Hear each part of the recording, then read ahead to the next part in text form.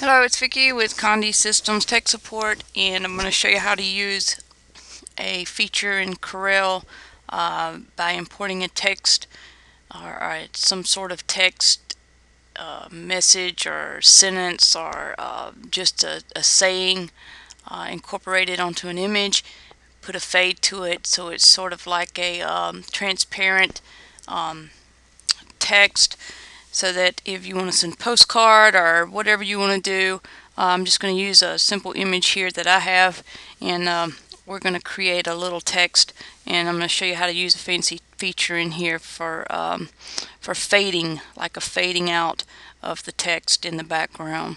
And um, I find it useful for uh, photos and um, uh, you know postcards things like that any type of uh, uh, image fading that you would need you could use this tool. So let's get started. First off I'm going to select a font. Actually I need to select my text tool and I'm going to select that.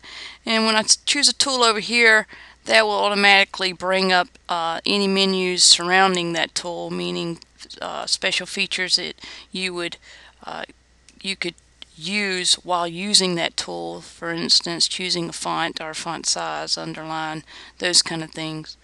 Uh, I'm going to choose a font that uh, is kind of in my mind Christmassy and um, to go along with my image.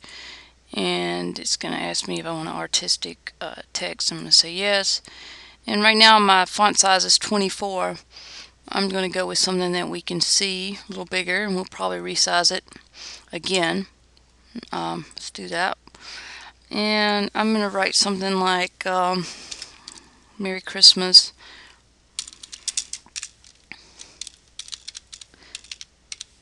Um, from the T-H-O-M-A-S-S-O-N-S from the Thomassons. And uh, that's still not big enough, but that's okay. I'm going to make it a little bigger here in just a second. Now what I want to do is kind of place it somewhere uh, uh, in here where I can just kind of see how it's going to look once I get it placed on the image and I can uh, select all this by choosing my tool here and just highlighting um, just highlighting this whole thing. Now what I want to do is probably choose a color that I that would show up better. And I'm going to choose white. Um, and now I want to make my image just a little bit bigger. So, or my text a little bit bigger. So I'm going to go probably with something like, say, 72 points. And if I want to go bigger than that, if it's not in the drop down, I'll just type it in there. How about that? And uh, now I'm going to kind of center it. And I could put it up here at the top which is a good place or I could put it down here uh, kind of at the bottom. Now I want to change the color of it. I want to go something um, that probably a little more Christmas color. Um, I'm going to choose this red.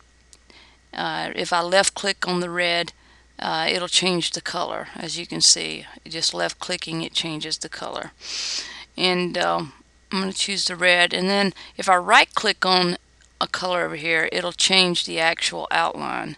So um, it'll give me an outline by right clicking and left click will give me a fill. So as you can see uh, my my white is my fill and my red is my outline. And if I just choose my pick tool I can select off of it.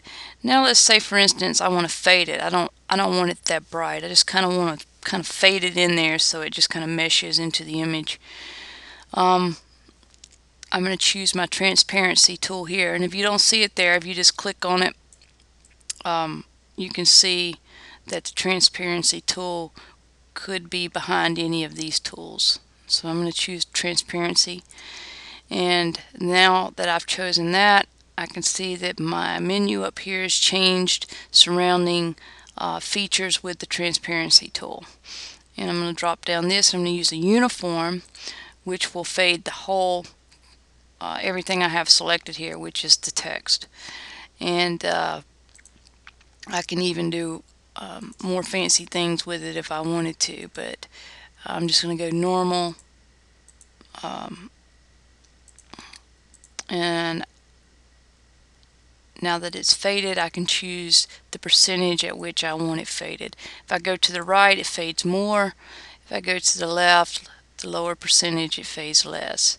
So I'm going to go uh, by default. It's going to it's going to be at 50%. I'm going to fade it a little more, and um, now I have um, a uniform transparency in this image, and um, I'm ready to place it wherever I want. I kind of like it at the bottom, so I'm going to leave it down there, and now I'm ready to. Uh, print or do whatever I want to with uh, with this image to create my postcards or, or my invitations. Again, um, this is Vicky with Conde Systems showing you, showing you how to use the transparency feature and also your uniform tool by incorporating text into an image. If you have any questions or is ever anything else that, uh, that I can help explain with this video, feel free to give me a call. Thank you for your time.